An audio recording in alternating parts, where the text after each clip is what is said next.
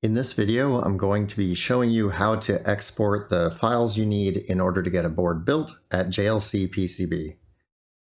Just to be clear, I am not sponsored in any way or paid in any way by JLC PCB. They're just a manufacturer I have used in the past and had very good results with.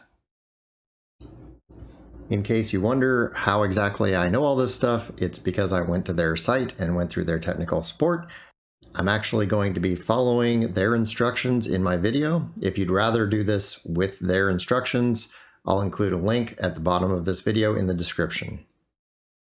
Now that we have our design finished, the first thing I want to do is go and check for any violations of the rules. In the Home tab, I'm going to run the design rule check. We can see that there are no warnings, there are no errors, so there's no problems here. I'm meeting all the requirements I had. My circuit over here is extremely simple, so I didn't expect to have any problems. But if you do have issues, you should just check on them. Sometimes they're not really that big of a deal. Like, for example, you may have a clearance constraint. That is not really an issue for the design of your board, but it's best to set up your rules so that they meet your manufacturer's requirements. And that way, when you run your check, you know that your manufacturer can build your board.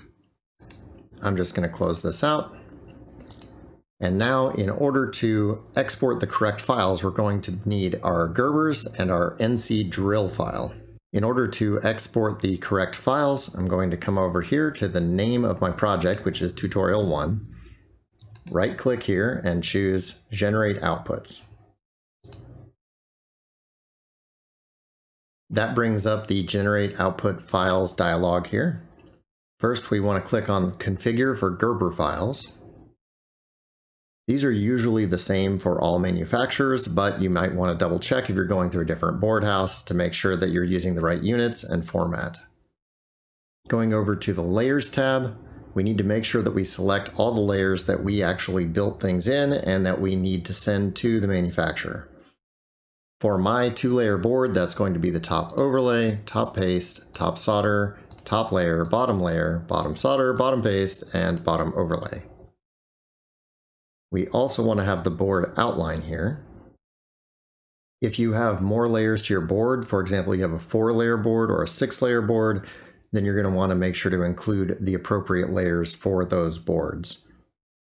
One thing to mention is that you don't want to select a keep out layer here the JLC PCB system looks for the GKO file and can grab it as an outline instead of as a keep out layer.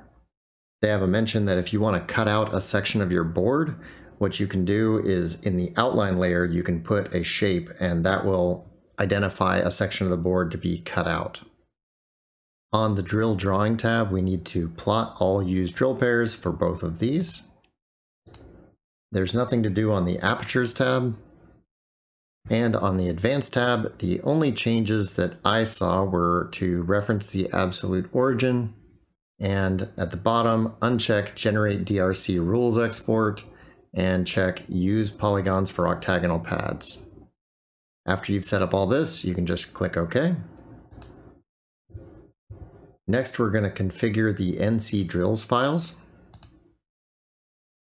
This time we're going to change the format. We're going to use inches for units and 2 to 4 for format. We want to suppress leading zeros and reference to absolute origin. And in the other section, we want to check the first three, optimize change location commands, generate separate NC drill files, and use drilled slot commands. There's a note that says definitely don't check the generate EIA binary drill file. Then we just click OK here. To generate the files, we're just going to check these two boxes and then click on Generate at the bottom. On my system, this took a little while, and I don't have a half-bad computer. I'm not sure if this is related to communicating with the server or if just the program got hung up a little bit. Mine says I need to save my changes before I can do this, so I'm going to go ahead and save and commit the changes. It says, you know, which files are going to be changed. Hit OK. That's fine.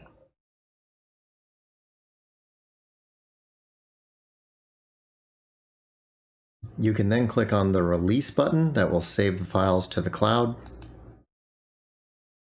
You can make a release note.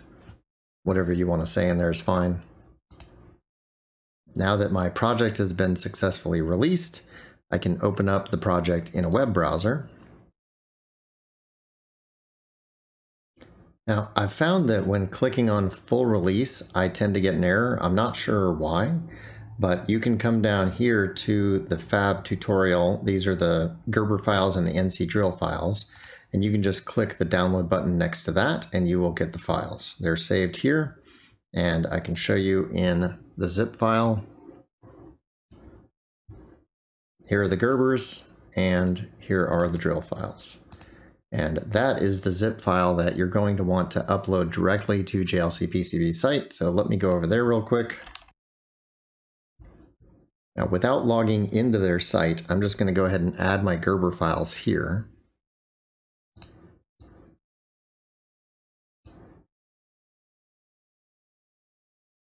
I just drag and drop that file right into the website. As long as you're using a modern browser, shouldn't be any issue. You can see that it immediately detects the layers and shows me what my board should look like. And I'm not actually going to go through the shipping and everything, but uh, typically when I order these, I just order the slowest shipping method because it doesn't really matter to me how fast I get these boards. I'm fairly certain they're built in China and it takes about a week usually for them to get into the fab, get done processing and building, and then it takes around a month for them to get to me. But for $10 and five copies of the board, I definitely can't complain. This is a fantastic service. I do wish that there was one like this in the US that was lower cost. Unfortunately, all the ones I know here are much, much more expensive, and a lot of them still send your board out to get built in China, so you still have to wait a month. So this is what I would recommend doing for anyone who is budget minded and wants to get a nice quality board. Thanks for watching. If you have any questions or you have a topic you'd like me to cover, please put it down in the comments.